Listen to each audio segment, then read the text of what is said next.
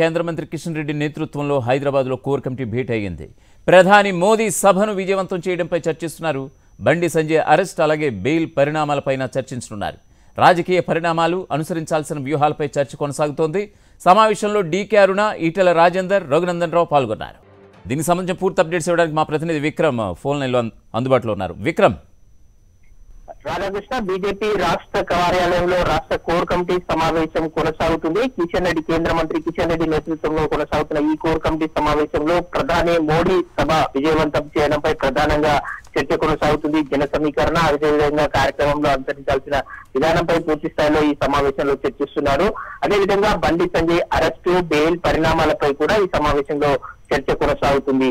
తాజా రాజకీయ పరిణామాలు అనుసరించాల్సిన వ్యూహాలపై ఈ కోర్ కమిటీలో చర్చ నడుస్తుంది సమావేశంలో బీజేపీ జాతీయ ఉపాధ్యక్షురాలు డికే అరుణ ఎమ్మెల్యేలు ఈటెల్ రాజేందర్ రఘునందన్ అదేవిధంగా మాజీ ఎంపీ జితేందర్ రెడ్డి ఇంద్రసేనారెడ్డి తదితరులు ఈ సమావేశంలో పాల్గొన్నారు ప్రధానంగా రాష్ట్రంలో జరుగుతున్న తాజా రాజకీయ పరిణామాలపై ప్రధానంగా చర్చ జరుగుతుంది ప్రధాని రాక సందర్భంగా ఒకవైపు బీఆర్ఎస్ పార్టీ బొగ్గు గనుల్లో ఆందోళన చేయాలని భావిస్తుంది ఈ నేపథ్యంలో దాన్ని ఏ విధంగా తిప్పి అన్న దాంతో బీజేపీ సమావేశంలో చర్చిస్తుంది. బొగ్గు గనులకు సంబంధించి ప్రైవేట్ పరం చేయము అని చెప్పి స్వయంగా ప్రధాని నరేంద్ర మోడీ గత పర్యటనలో చెప్పారు. అదే విషయాన్ని మరోసారి పునరుద్ఘాటించాలని చెప్పి బీజేపీ కోర్ కమిటీ సమావేశంలో నిర్ణయం తీసుకున్నట్లు సమాచారం తెలుస్తుంది.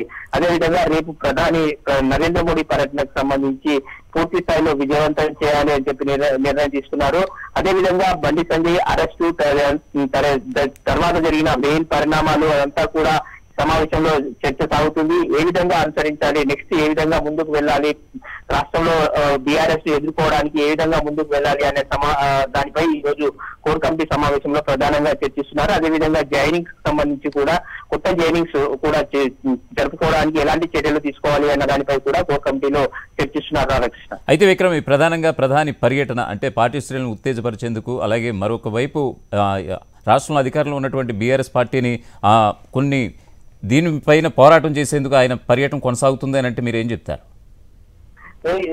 రాధాకృష్ణ మనం చూసుకోవచ్చు. ప్రధాని నరేంద్ర మోడీ పర్యటన పూర్తిగా అధికారికంగానే కొనసాగుతుందని చెప్పుకోవచ్చు. అభివృద్ధిని చూపించే ప్రక్రియ మాత్రమే కొనసాగే అవకాశం స్పష్టంగా కనిపిస్తుంది.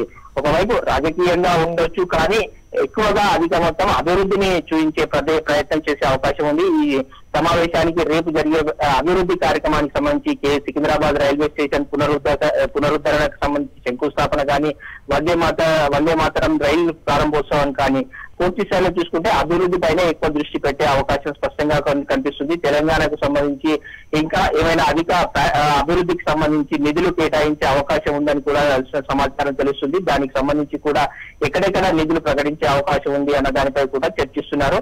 అయితే ప్రధాని నరేంద్ర మోడీ పర్యటనకు సంబంధించి మనం చూసుకోవచ్చు పూర్తిగా అభివృద్ధి కోణంలోనే ఉండే అవకాశం ఉంది. పార్టీ శ్రేణులను ఉత్తేజపరుస్తూ మరోవైపు అభివృద్ధికి సంబంధించి ఎక్కువ ప్రాధాన్యత ఇచ్చే అవకాశం ఉంది. ప్రధాని నరేంద్ర మోడీ పర్యటనలో ఎక్కువగా అదే ఆ కోణంలోనే ఎక్కువ కనిపిస్తుంది Radhakrishna. Okay Vikram thank you